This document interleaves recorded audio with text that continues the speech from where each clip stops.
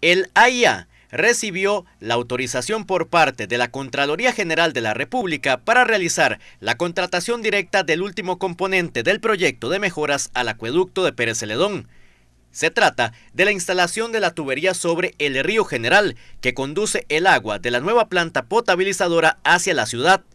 La conclusión de la obra en la que se invierten 5.819 millones de colones, beneficiará a 125.000 personas de San Isidro, Daniel Flores, Los Chiles y Palmares por los próximos 20 años.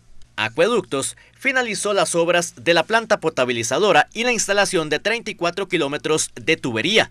Sin embargo, estaba pendiente la autorización para instalar la tubería sobre el río General, componente del proyecto que se postergó debido a la tormenta Nate.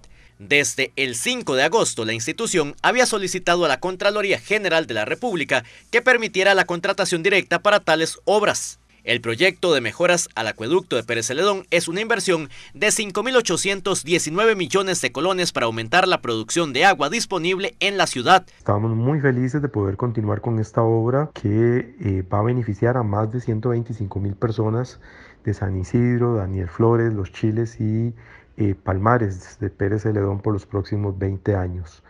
Eh, es una inversión, una obra con una inversión de 5.819 eh, millones, donde ya están concluida la planta potabilizadora y la, la instalación de 34 kilómetros de tubería y estaba pendiente esta autorización por parte de la Contraloría para instalar la tubería sobre el río eh, General. Eh, recordemos que el puente sobre el río General se había sufrido daños serios y el cauce del río eh, producto de la tormenta Nate y eh, pues eso hizo que eh, se tenía que adherir la tubería los principales componentes incluyen una nueva planta potabilizadora con capacidad de tratar 150 litros por segundo.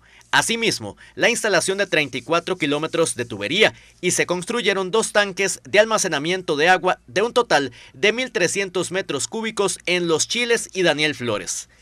La planta potabilizadora se diseñó considerando una futura ampliación de 150 litros por segundo adicionales, lo que duplicará la capacidad.